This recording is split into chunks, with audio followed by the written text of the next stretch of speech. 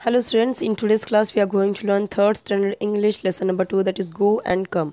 So so, explain मैंने पहले ही कर दिया है सो so, अगर आपने नहीं देखा होगा तो ज़रूर देख लेना एक्सप्लेनेशन वाला वीडियो देख लोगे तो आपको इसका क्वेश्चन आंसर समझ में आएगा और इजी भी लगेगा। तो चैनल को सब्सक्राइब कर लीजिए आप और बेल आइकन प्रेस कर लीजिए। बेल आइकन प्रेस करोगे ना तो थ्री ऑप्शन आएगा। पहला ऑप्शन रहता है तो ऑल का रहता है। ऑल पे क्लिक करना। उससे क्या होगा, जब भी न्यू वीडियो अपलोड करूँगी आपके सब्जेक्ट का तो आपको उसका नोटिफिकेशन मिल जाएगा, आप इसलिए देख पाओगे। तो वीडियो को लाइक कर देना, अपने फ्रेंड के साथ भी शेयर कर देना, ठीक है? चलिए स्टार्ट करते हैं। ये सारे क्वेश्चन देखिए आपके हैं। है ना? ये सारे क्वेश्चन हैं। चलिए एक एक करके सारा आंसर देखते हैं। पहला क्वेश्चन है यहाँ पे what it wrong to tell the boy to weed the garden no it was not wrong to tell the boy to weed the garden ये गलत नहीं है कि अपने गार्डन की सफ़ाई कर लो। ठीक है? घास उसमें से निकाल दो।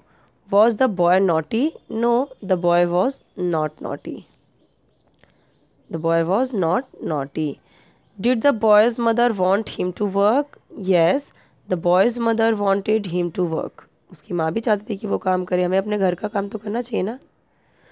दूसरा क्वेश्चन है find and write the lines that tells the following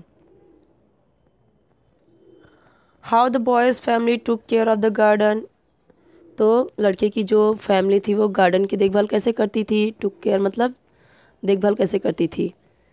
The below lines tell us how the boys family took care of the garden the पहला है यहाँ पे the plants had to be watered every day daily उसको watered किया जाता था, पानी डाला जाता था उसमें। They had to be given manure from time to time time to time उसे मैन्योर दिया जाता था। मैन्योर मतलब जो फर्टिलाइज़र होता है, जो खाद वगैरह दी जाती है, ताकि वो प्लांट्स और अच्छे से ग्रो करें। They had to be cut and pruned at right time time time पे उसकी कटाई छटाई भी पेड़ की करते थे प्लांट्स की करते थे। Everybody in the little boy's family help to take care of the garden तो हर कोई यहाँ पे जो भी छोटे बच्चा, जो घर में है हर कोई यहाँ पे गार्डन की देखभाल करता था। The little boy was about to cry क्या छोटा बच्चा रोने वाला था? The below line tells us that the little boy was about to cry his chin began to wobble he had a lump in his throat and his eyes filled up तो उसका जो चिन था एकदम कैसे एकदम रोने जैसा हो गया था वॉबल होने लगा था। और उसके गले में कैसे एक लंप जैसे, लंप मतलब कैसे रोते हैं तो दुखता है, जैसे एक वो और आँखें भर आई थी तो वो रोने वाला था। The boy and his mother worked happily and fell the boy लड़का जो था, उसकी माँ खुशी खुशी काम करने लगे। ये तो यहाँ पे देखो, नीचे की लाइन लिखा गया है।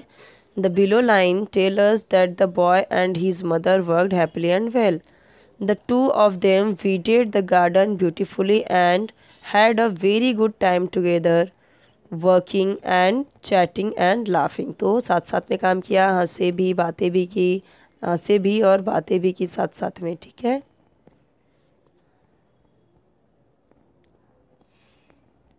Write any two request orders first using go and then using come let's which one would you use तो यहाँ पे क्या बोला गया है? Write any two request orders first using go यहाँ पे ये सारी चीज़ें आपको यूज़ करनी है। तो देखो, below are the requesting use, using go and then using come. Let's.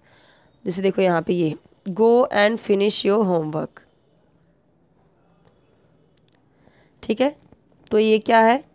ये ऑर्डर है यहाँ पे go and finish your homework go and wash your hands ये भी क्या है? ऑर्डर है।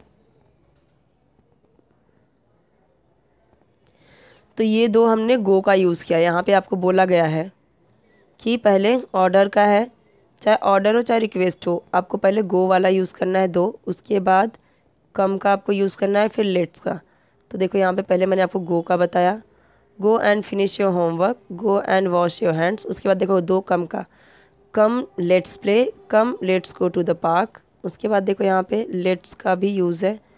I shall use the last one come let's go to the park copy the words different believe discipline naughty readily ये क्या करना है? Readily readily मतलब तैयार होना। तो ये सारे आपको जस्ट वैसे ही लिखना है कॉपी करना है। यहाँ पे बोला गया ना copy copy the words write three five lines about any grown up person you like also write how you spend time with that person I like my grandmother very much she is always smiling and ready to talk and hear to me she has so many stories to tell me while sleeping she also takes me to the park when my homework is done I like to spend time with my grandmother very much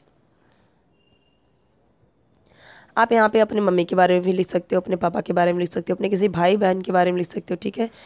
जो मतलब आपसे बड़े हैं यहाँ पे, ठीक है? तो यहाँ जो आपको पसंद आए, ठीक है? उनके बारे में आप लिख सकते हो, आप अपने अंकल के बारे में लिख सकते हो, किसी के बारे में आप लिख सकते हो, यहाँ पे अपने, ठीक है? तो यहाँ पे ये सारा क्वेश्चन जो भी था आपके टेक्स्ट बुक में मैंने सारा बता दिया आपको, कोई भी डाउट है कमेंट सेक्शन पूछिए। चैनल सब्सक्राइब कर दीजिए बच्चों और वीडियो को लाइक कर दीजिए, अपने फ्रेंड के साथ भी शेयर कर दीजिए। लाइक करना ना भूले वीडियो